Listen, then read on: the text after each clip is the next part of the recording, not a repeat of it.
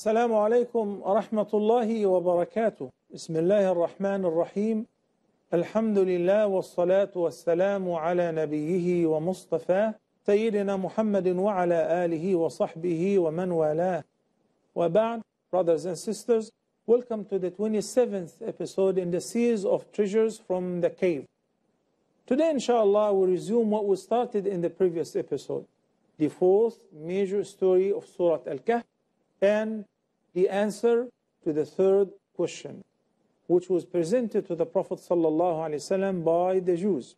When they sent the three questions to the Meccan chieftains to ask the Prophet ﷺ, and they said, if he answers the questions, then he's a prophet, and if he fails to answer them, then he's a liar, deal with him as you wish. It was about Zil Qarnayn, the just king who had the dominion of the entire world, whom Allah the Almighty subjugated all the kings of the world to him. And then Allah the Almighty said that, that He has provided him with the means of everything, power, strength, weapons, horses, you name it. Then he started traveling once to the farthest point where the sun sets, then again in the opposite direction to the farthest point where the sun is rising. And we have seen observations of Dhul Qarnayn in both places. Then in ayah number 92, Allah the Almighty said, ثُمَّ أَتْبَعَ سَبَبًا Then he pursued a course. That is the third journey that Allah the Almighty tells us that Dhul Qarnayn have taken. In ayah number 93, it tells us straight ahead his finding when he traveled up north. He said, حتى إذا بلغ بين السدين وجد من دونهما قوما لا يكادون يفقهون قولا. He found something very amazing. He found people living between two mountains. He reached the point separating the two barriers, two huge mountains, and he found beside them a people who could barely understand what is said. People were very barbaric, were not educated, barely understood any saying. Very simple life. Okay, then what happened? قالوا يا ذا القرنين إن يأجوج ومأجوج مفسدون في الأرض فهل نجعل لك خرجا على أن تجعل بيننا وبينهم سدا Those people said to him, either through an interpreter or Allah enabled him to understand what these poor people are begging Dhul Qarnayn to help them with. They realize that this man is a very powerful king and those people have been oppressed, have been suffering from two nations or two tribes from among the offspring of Adam alayhi salam. These two tribes are known as Gog and Magog or Ya'juj wa Ma'juj. Very dangerous people. They have been mentioned in the Quran and in many ahadith. Insha'Allah, we will tackle some of these references in order to get to know who are Ya'juj wa Ma'juj. But in this ayah, Allah the Almighty has told us already, إِنَّ يَأْجُوجَ وَمَأْجُوجَ مُفْسِدُونَ فِي الْأَرْضِ These two tribes, Gog and Magog, مُفْسِدُونَ فِي الْأَرْضِ are spreading chaos and mischief on earth. So help us out. Spare us. What kind of mischief? Those people eat anything on earth. They pass by a field, they devour the whole thing. They pass by a river, they drink all its water until the last drop. If they are passing by a lake, by the time the last one of them would come to the lake, you will find no water. Say there used to be water here. Yeah, your people drank it all. To that extent. Yes, to that extent. And we'll explain furthermore with the ahadith. So these poor people, لا يكادون يفقهون قولا they could barely understand a saying or a thing that they begged Dhul Qarnayn because they saw his strength and his army and his host, they thought that they're going to pay him so that he could assist them to build a barrier between them and these, uh, you know, uh, oppressors, these violent nations. They said, قالوا يا ذا القرنين. So they recognized him as this is the just ruler who is having the dominion of the entire world. هل نجعل لك خرجا we are willing to pay you a tribute as much as we can.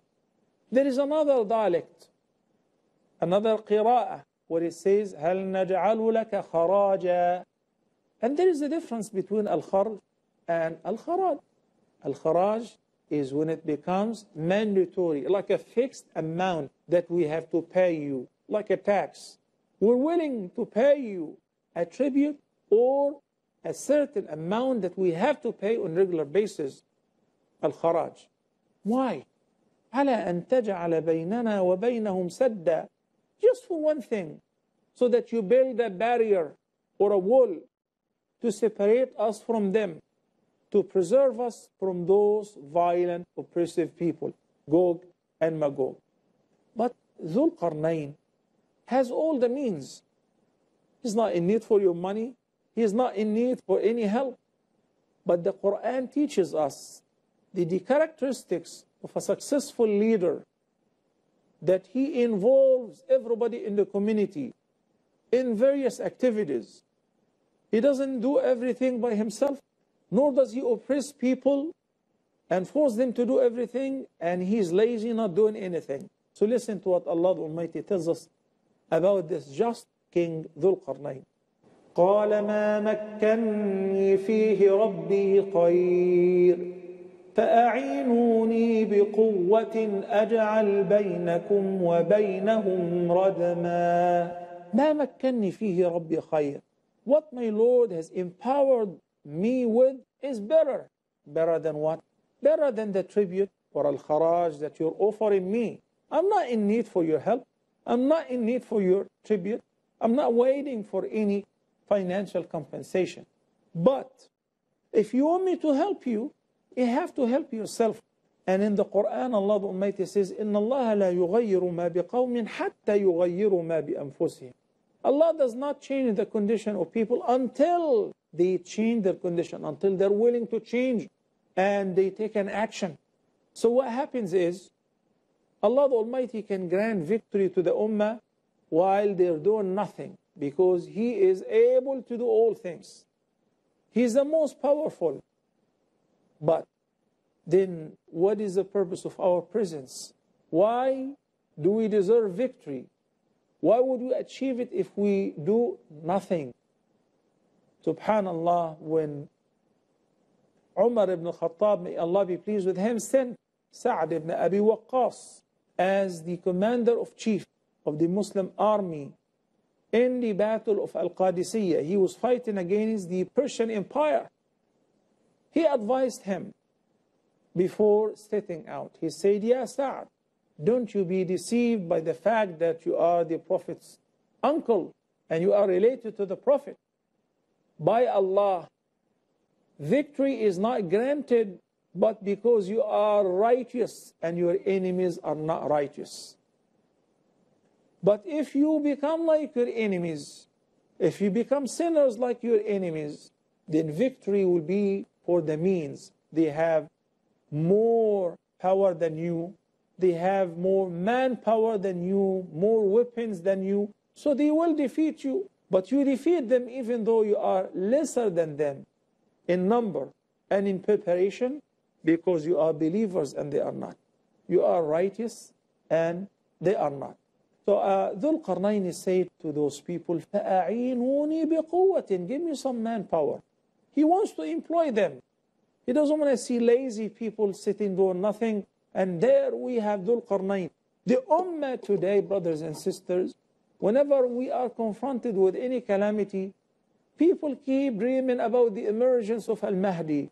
When would the Mahdi come? To the point that they give him a title. They say Al-Mahdi Al-Muntazar, the awaiting Mahdi. Like the whole Ummah is waiting for Al-Mahdi to come in order to defeat the enemies, in order to achieve victory, in order... What if he doesn't come during our life? and says who that we are waiting for his emergence. He will come whenever he will come. He will emerge whenever he will emerge, and his emergence will be by the end of time. But each and every one of us now have to do what we have to do. We have to fulfill our duties towards Allah. We have to work hard. We have to be united. We have to utilize the proper means that Allah the Almighty empowered us with in order to progress, in order to prosper, right? We should not sit back and wait for Al-Mahdi to come in order to bring prosperity and victory to the Muslim Ummah. So uh, Dhul Qarnayn said, أعينوني بقوة. Come and work with me. أجعل بينكم وبينهم ردما. If you do, I will be happy to assist you as well and build a barrier between them and you. Then he started working. Of course, people are in need, anxiously waiting for a good leader, a successful commander who would be able to employ them hand by hand. And the Prophet ﷺ was the greatest example in this regard. During the battle of Al-Khandaq, the companions have seen the Prophet ﷺ digging the trench with them, not sitting and giving instruction. They were hungry to the point that Jabir ibn Abdullah narrated each one was tying a stone around his stomach to suppress their hunger, like a stomach bypass. And then the Prophet ﷺ had tied two stones. And there the work started. Dhul Qarnayn gathered the people and started building the dam or the wall between the two mountain cliffs. We will find out, inshallah, in the next segment. And after we take a short break, what happened next. Please stay tuned. Assalamu alaikum wa rahmatullahi wa barakatuh and welcome back. Now in ayah number 96, Allah the Almighty tells us how Dhul Qarnayn was able to employ those people and put them to work. He said, آتوني زبر الحديد حتى إذا ساوى بين الصدفين قال انفخوا حتى إذا جعله نارا قال آتوني أفرغ عليه قطرا In this ayah, Allah the Almighty tells us that Dhul Qarnayn said to the people, bring me blocks of iron.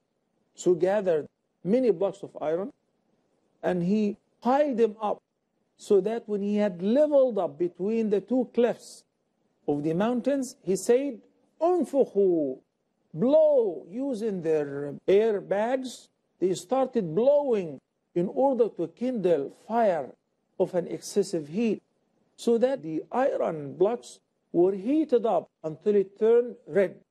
And once the iron blocks were extremely hot to the point that they turned red, he said, bring me tar to pour over it. حتى إذا جعله نارا قال آتوني أفرغ عليه قطرة. the Mufassirin said that he ordered the molten brass or the molten lead to be poured on the iron blocks while they were heated up and in this condition he filled up the gaps between the iron blocks. He made what is known as an alloy and it was very powerful. He filled up the gap between the cliffs of the two mountains and he created a very smooth level dam.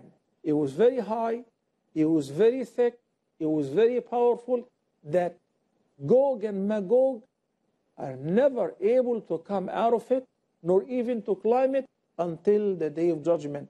So the Quran tells us in ayah number 97, فَمَا استطاعوا أن يظهروه وما استطاعوا له نقبا And they were neither able to climb it, nor were they able to make a hole in it. After he saw this beautiful work, he turned to Allah with thanks and gratitude. In the following ayah, he said, قال هذا رحمة من ربي. He said, this work is a mercy from my Lord. He attributed this success and ascribed this achievement to Allah. قال هذا رحمة من ربي. Then he said, فإذا جاء وعد ربي جعله دكا. وَكَانَ وَعْدُ رَبِّي حَقًّا Even though this dam, this sad, has become very powerful that Gog and Magog are imprisoned behind it, and they are neither able to climb it because it is very smooth, nor penetrate a hole in it or make a hole in it. But this is for the time being, until it is the end of time. فَإِذَا جَاءَ وَعْدُ رَبِّي referring to whenever it is the day of judgment. They will come out. And Allah subhanahu wa ta'ala will destroy this dam. جَعَلَهُ دَكَّاءً He said, my Lord will make it دَكَّاءً will, may, will turn it into rubble. وَكَانَ وَعْدُ رَبِّي حَقًّا And the promise of my Lord is always true. In this regard, the Prophet ﷺ says that these two nations, Gog and Magog, are imprisoned behind this dam. They are very powerful. Their number is beyond imagination. And every single day, they try to make a hole in that sadd.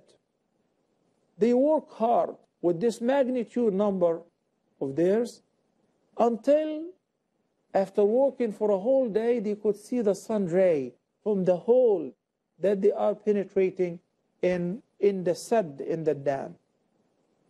Then the leader will say, enough for today. We got tired. Tomorrow we'll continue. So when they come back tomorrow to continue, Allah the Almighty will seal up that hole again. In the hadith also, it says that every day they try to make a hole and they dig. They try to penetrate it. And when they see the sunlight, the leader will say, enough, we'll come back tomorrow to do it. And he doesn't say, inshallah. Until it is a due time for them to emerge and to come out, the leader will say, inshallah, tomorrow will continue. So when they come back next day, they will find that the effort that they have made is still there. The hole that they have made is still there. So they would widen the hole until Allah the Almighty will cause the dam to turn into rubble so that they will emerge and they will come out and they will flood the earth. It's like a curse. Very powerful people, very huge number. In the hadith, the Prophet ﷺ said on the day of judgment, Allah the Almighty will say to Adam, Ib'ath ba'th Now, bring out of your offspring those who are due to enter hellfire. So Adam alayhi salam will say, who are they and how many are they? So Allah the Almighty will say, out of every 1,999 people are due to enter hellfire. Only one per thousand will be saved. The audience, the companions of the Prophet ﷺ were very scared and frightened because this ratio is very little. Out of every 1,000, only one person will be saved. One person will enter paradise. So the Prophet ﷺ assured them, saying, one from you and 999 from Gog and Magog. 999 from Gog and Magog, from each 1,000 of the offspring of Adam, peace be upon him. Allah Almighty tells us that the condition of Gog and Magog behind the mountain currently as follows in ayah number 99. وتركنا بعضهم يومئذ يموج في بعض ونفخ في الصور فجمعناهم جمعا On the day we will leave them surging upon one another and the trumpet will be blown and we will gather them together. They are imprisoned behind the wall, the dam that Dhul Qarnayn have built. Its location is unknown to us. And with the advanced technology and the metal detection and metal detection methods that we still don't know where are those people and we cannot find out about them. Even though there are many historians and many interpreters say that maybe they were the Mongols, the Tatars, this or this or that. But the fact of the matter is that, that they would only come out and they will emerge as a sign of the major signs of the day of judgment, not before that. So when those people will emerge, it means it's over. As is stated in the long hadith that the Prophet ﷺ said that when Jesus, the son of Mary, peace be upon him, will descend at the eastern minaret, at the minaret of the eastern part of Damascus, and then he would follow the leader of this ummah, Muhammad ibn Abdullah al-Mahdi, will pray behind him. Then he would lead the ummah of the Prophet to chase the false Messiah, al-Masih al-Dajjal, who would once he would hear about the descent of Jesus, peace be upon him, he will run away. And Jesus, peace be upon him, will chase him until he would chase him to one of the gates of Jerusalem city. Then he will manage to kill him, and that will be the end of the false Messiah and his fitna. Then Allah the Almighty will reveal to Isa alayhi salam, Jesus peace be upon him, that you should take a shelter in At-Tur, you and the believers along with you. Why? Because Gog and Magog have just emerged. Gog and Magog have spread all over the earth. They have eaten every greenery on their way. And in the hadith, those people will pass by the lake of Tabariyah. And they will drink all its water until they will dry it up. So that some of them will find no water to drink. This is how terrible will be the trial of Gog and Magog and their emergence. To the point that Jesus, peace be upon him, along with Al-Mahdi, peace be upon him, and the believers with them, who defeated the false Messiah and his followers, will be ordered rather to hide and to take shelter in the Mount of At-Tur. And they will hide. They will hide until Allah the Almighty will take care of Gog and Magog. People will be in a great distress. And everywhere people will be hiding in their fortresses. Don't know what is happening. Then they will say, if any of you is willing to take the risk and sacrifice himself to see, to tell us what is happening with Gog and Magog. And inshallah, we will begin next episode by discussing what happens to Gog and Magog afterward by the leave of Allah. Until then, brothers and sisters, I leave you in the care of Allah. أقول قولي هذا وأستغفر الله لي ولكم وصلى الله على سيدنا محمد وعلى آله وصحبه وسلم والسلام عليكم ورحمة الله وبركاته